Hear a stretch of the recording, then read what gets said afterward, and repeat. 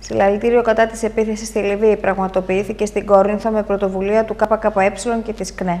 Το Κομμουνιστικό Κόμμα Ελλάδας α, απαντάει με κινητοποιήσεις σε όλη τη χώρα μετά από τους χθεσινοβραδινούς βομβαρδισμούς ε, που έγιναν στη Λιβύη. Οι υπεριαλιστές ε, με τους Αμερικάνους, τους Γάλλους και τους ε, Βρετανούς ξεκινούν ένα νέο πόλεμο εναντίον του λιβικού λαού. Καταδικάζουμε αυτό το γεγονός, στέλνουμε την αλληλεγγύη μας στους λαούς της Βόρειας Αφρικής και της Λιβύης.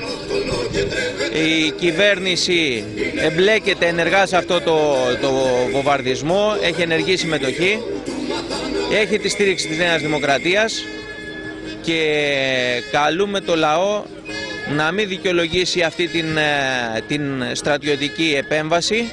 Είναι παραμύθια αυτά που λένε περί ανθρωπισμού. Ε, η, μοιρα... η... Η...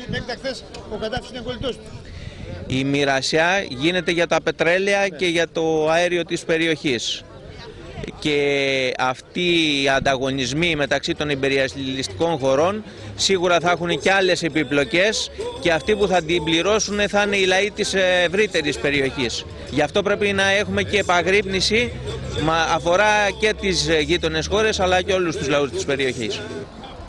Οι υπεριαλιστές τη γη ξαναμοιραζούν με τον λαό το αίμα τα σύνορα χαράζουν.